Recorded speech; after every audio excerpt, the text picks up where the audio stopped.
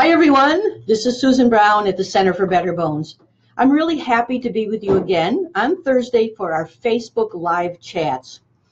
We're going to try to do these chats as many Thursdays as possible, 12:30 Eastern Standard Time, so that you have a chance to personally ask me your questions. And also, it's an opportunity for me to review some new research. Often I'm going to have a little discussion about what we spoke about in the blog. And in fact, this week, we're going to talk about this whole idea of how to get the cleanest possible fruits and vegetables. You know, and this is very important to us because here at the Center for Better Bones, it's been really two decades now that we've been developing the Better Bones, Better Body program. This is the most comprehensive program that there is really in the world on building bone health naturally. And it's actually our mission to explore the potential for everyone to maintain strong bones all of their life and to actually begin rebuilding bone at any stage of their life. A central part of the Better Bones, Better Body program is the diet. Those of you who know of my work know that we champion the alkaline diet. I've written a book on it. and You'll see that little book over there. That book's translated into many languages. It's a very popular topic because people all over the world know that pH balance makes a difference to their health and it makes a very big difference to bone. So the alkaline diet is a really big part of the Better Bones program. The alkaline diet consists of lots of vegetables. In fact, we always say two cups of vegetables for lunch, two for dinner. Significant fruits if you can do it, and you can use the low glycemic fruits like berries and citrus in that, but significant fruits, nuts and seeds, herbs and spices, and what we call some of these uh, smaller lentils, some of those small pulses. And of course, those are all alkalizing. Now, of course, you're going to have some protein, which is acid forming, and you're going to have some grains probably. So they're always going to be acid forming things, but we put the majority of our food to alkalizing. And the way you can tell, you start with those two cups of vegetables for lunch and dinner, a few servings of fruit, lots of nice spices, nuts and seeds, and how you can see if your diet is actually alkaline. Do you remember? Those of you who followed my work probably know. You can actually measure your pH, and you can use this little simple pH strip, a little simple pH strip, and you can measure your pH. And you look for a first morning urine of 6.5 to 7.5. This is so important that we've produced a whole pH test kit that you can just learn about the diet. You can learn how to test your own pH. It has my book and all that. You can find that all on our website at betterbones.com. But today I want to talk about that challenge of getting vegetables that are the, the, the, the least contaminated, the purest, the most wholesome as possible. The alkaline diet's really a high vegetable diet, so we want to pay attention to the vegetables. This brings us to the blog topic for this week, which was this whole question of the dirty dozen. You're probably all somewhat familiar with this idea that pesticides are abundant in our environment. There is each human, each of us Americans have 29 different pesticides in the body. A single apple can be sprayed 30 different pesticides. And what did I see? A strawberries, the recent strawberries tested up to six pesticides in them actually, all in all, more than 1 billion pounds of pesticides are used in the US, and a lot of that gets back into our body. You've probably seen some of the research of the many health hazards of pesticides, particularly to children and particularly for endocrine disruption, altering the reproductive function. Children, you find attention deficit, allergies, you find many systemic problems with pesticides. So we we know it's better to get the purest food possible. The US government every year actually tests the food for pesticide load. And what they do is they go to the supermarket, they pick out some vegetables and fruits, they wash them or they peel them. So these foods that you see tested were actually already cleaned. And this is this is this this idea of telling you which foods have most pesticide and which foods have least they call it the dirty dozen, which are the ones that are most polluted, most contaminated with pesticides. And then you have the clean 15. What they do is they then measure these foods uh, they take the government measurements, which is the Department of Agriculture, and there's an environmental working group, and every year they publish this. And I like every year to look at this carefully. We've made this recent blog, and I suggest you print out this blog and put it on your refrigerator. Um, you might remember if you if you've looked at the blog already, you might remember that these things change around. Like last year, uh, for many years, for many years, apples have been the highest, but now we see that strawberries have taken over. And so there's changes. And we saw that pears were very low. They weren't even on the top 10 list. And now pears are ranking, what is it, like number number four or five. Pears have come right up there on this whole thing. Let me see exactly what pears came up to. So you want to watch it over the years to see how they change. And the implication is we know that we know that the, the best way to get pure food, uh, if we had to put a scale, the best way is to grow it yourself. I wanted to, I'm so proud. This is my kale from my backyard raised bed, a really simple garden to do. This is my collard. This is the collards, and this is the kale. So simple, so nice to grow.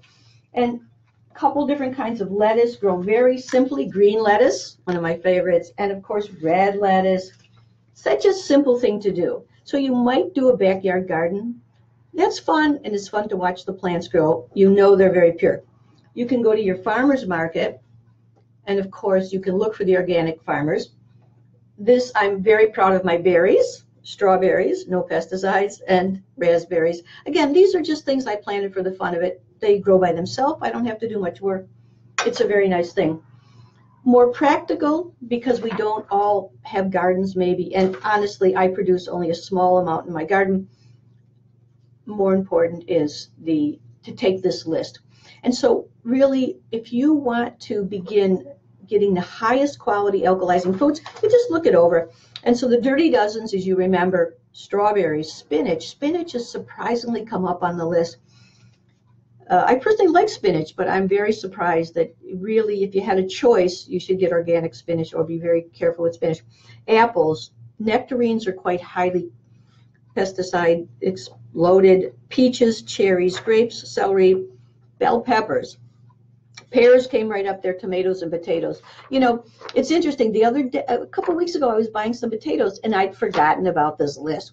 And I actually got commercial potatoes. And a friend of mine, a doctor, said, Hey, you know, you really should be careful that this is one of the most contaminated foods. I myself failed to look at this list. So put the list up, memorize it, and you can you can maybe say, well, what I will eat more of the clean ones, like avocados and pineapples and cabbage and onions and peas and papayas, asparagus. There's many foods that are not very highly sprayed. So that's one thing we can do. As the ancients say, purification leads to progress and, and every every step we make helps we can't do everything we can't always buy organic but we can take care to get the least contaminated fruits and vegetables and we also know that if we do get organic we're getting more minerals more nutrients and actually i saw some interesting research that even you, even wild apples, for example, if you're out someplace where in a field where there's wild apples, they have much more nutrients than the domesticated ones. So I know I was brought in the country, I was brought up in the country. We had apple trees, plum trees, all this. If you have a chance to get exposure to those, they're very nice. So every year, stick this on the refrigerator, carry it around with you, remember it. It'll serve you well. We'll have a we'll have a higher quality alkaline diet. Now, one of the things we want to do is once in a while answer some questions. So I'm going to take a minute here and see if there's any particular questions you'd like answered at this particular time. Uh, and, and, I'm going to answer a question from last week while I'm waiting for you to type in your questions uh, or to send those questions to us. What, you know, we're getting quite a few questions on fracture, people who have fractured. Uh, of course, at the Center for Better Bones, we help people build bone health, but fractures do occur, and many people are drawn to our work because they have fractured. In fact, over time, we have found that there's a very excellent way, if you use the same Better Bones program but a little bit adjusted, you can speed fracture healing. We have many, many cases where people can heal fractures much more quickly. And in fact, on the website, on betterbones.com, if you search fracture healing, you'll find the article we wrote giving the 20 top tips of how to speed fracture healing.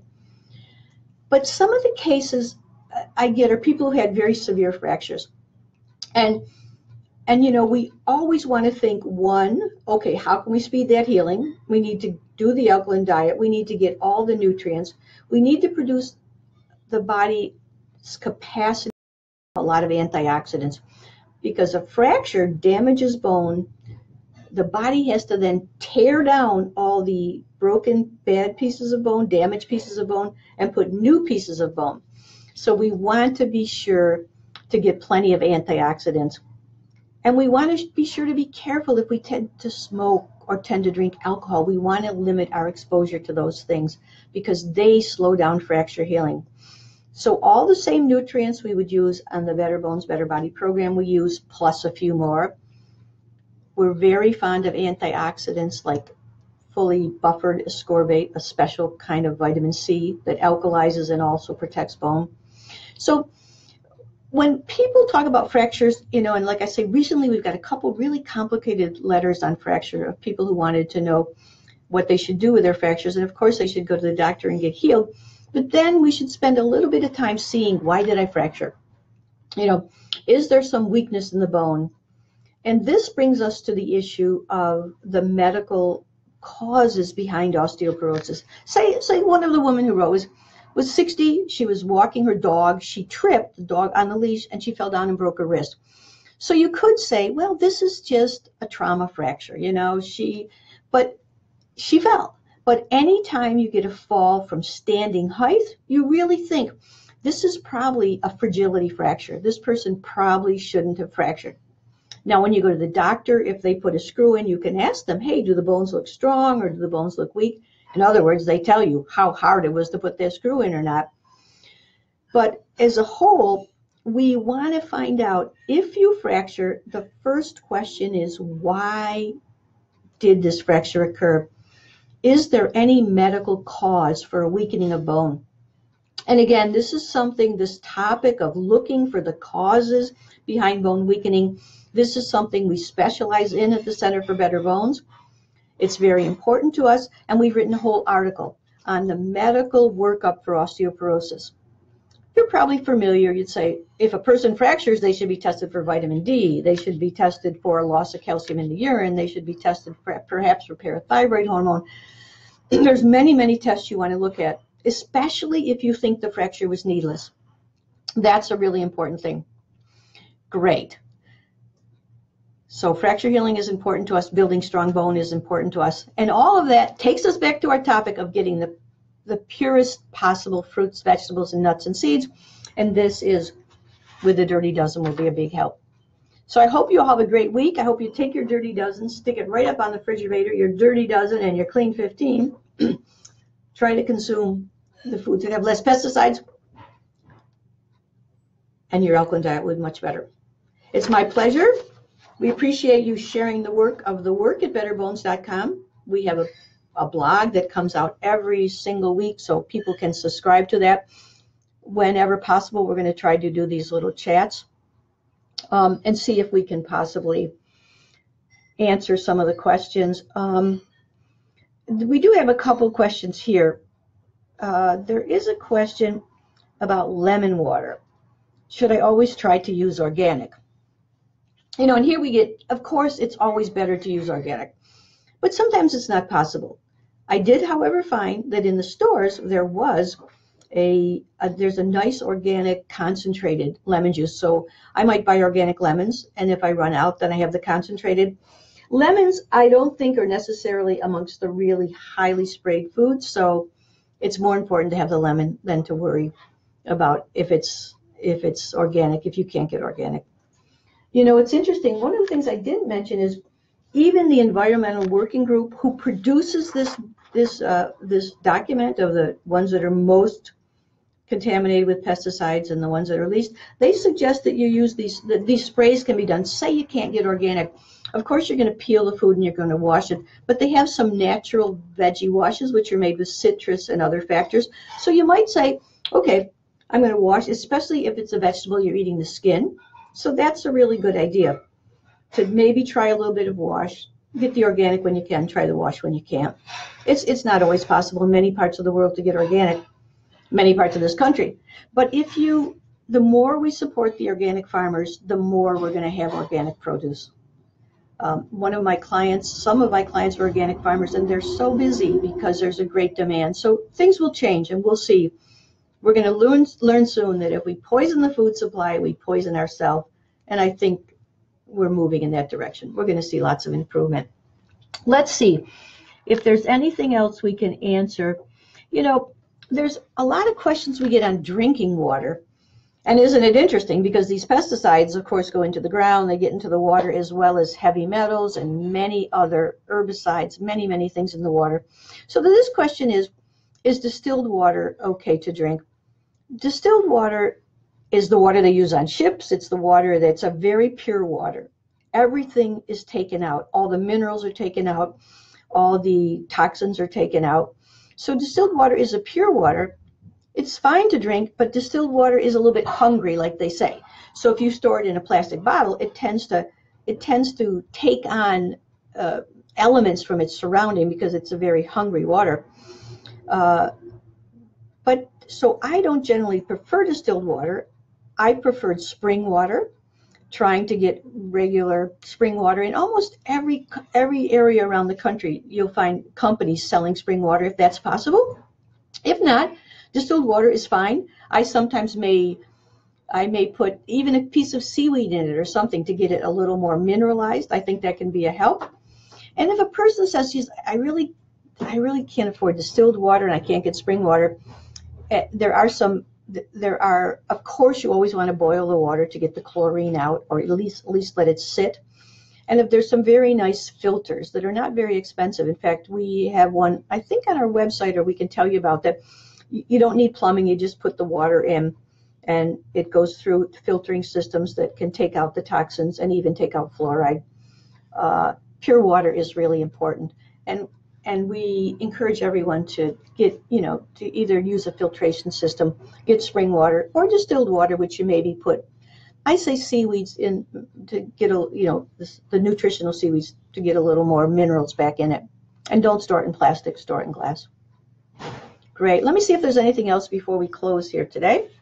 Um, let's see. People always, uh, the one last thing people always uh, ask me about, I see here, is that this thing of alkalizing compounds, like why is it that lemon alkalizes? You're, you're always encouraging people to take lemon juice and lime juice when it tastes acid. And we're just remembering that what happens, it's not the taste of the food that decides how it impacts the body. It's how it's metabolized. So that, that lemon or lime, whether it's organic or conventional, that's going to alkalize because the citric acid is converted by the body into bicarbonate and water. Lemon and lime are nice. They're alkalizing even though they taste acid. Same thing with apple cider vinegar. Try to get a full range, full array of vegetables. Try to eat every color you know, many different colors every day. In fact, one of the original Japanese dietary guidelines several years ago I saw was eat foods of every color every day. That's really a great idea. That's an important thing to do. Okay, well, we've got some activity here. We need to get back to work, but I hope you had a great time and hope you sign up next week. Join us on Facebook Live, 12:30 Eastern Standard Time, and we'll try to answer your questions and talk about our blogs. It's been my pleasure to be with you. Susan Brown of the Center for Better Bones, betterbone, betterbones.com. Look us up and we'll talk later. Bye bye.